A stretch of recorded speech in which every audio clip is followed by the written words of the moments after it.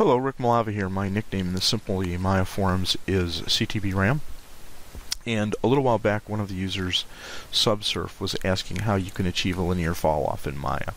Uh, what he wants to do is he's got this cylinder he wants to uh, bring this half of the upper face or upper cap of the cylinder up at a specific angle, but he doesn't want to rotate it. He wants to bring it up to the angle, but he wants to keep the vertices in line, and that's called a linear fall off. Now, uh, there were s- several good suggestions. Uh, Dave Rave suggested you could use the cut faces tool.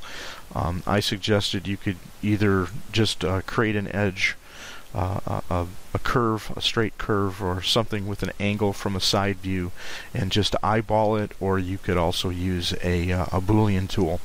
And then uh, one of the users, Primate, actually suggested something I wouldn't have thought of using a nonlinear flare. And uh, today I was doing some modeling, or the other day I was doing some modeling in Maya, and uh, I realized that I had come up with a way to do this a long time ago, and it just didn't dawn on me when I read the thread.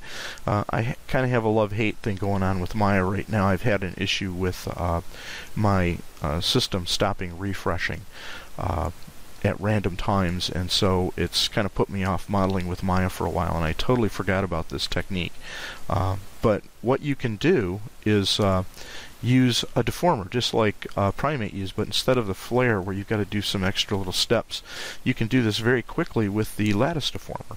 So if I was to come in here in uh, similar example to what uh, the original user was asking for and select just the vertices on the face that I want to rotate, and then I come down here and I create a lattice deformer, I can come over here now and just pick these vertices and pull them up.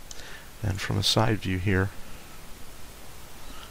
you can see that that is a linear fall off, giving you the angle you want. And the reason I remembered this is I was modeling something uh, to help somebody out, uh, modeling up a shape for them, and this is a, a, portion of a of a deck of a spaceship, and it's got this uh, this area here that angles down.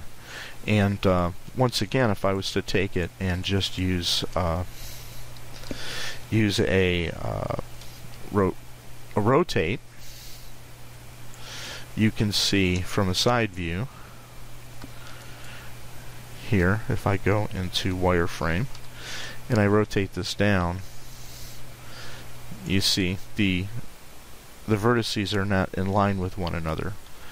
Um, now, what you can do instead of that is if I come up here go back into solid shaded mode and I grab these faces. This is another thing, uh, another tip here. A lot of people don't know about some of the selection tools in Maya. If I hold the control key and the right mouse button, this marking menu comes up and I can change that face selection into a vertices selection. So now I've got the vertices which is required by the create deformer tool.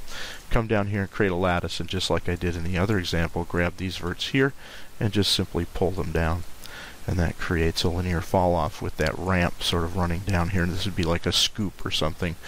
Uh, and then you can come in here and get rid of that face and you know now you got sort of a scoop going into the side of something. So there you go. There's another method for uh, doing a linear fall off using the uh, the lattice deformer. I hope this helps you out and uh, good luck with your modeling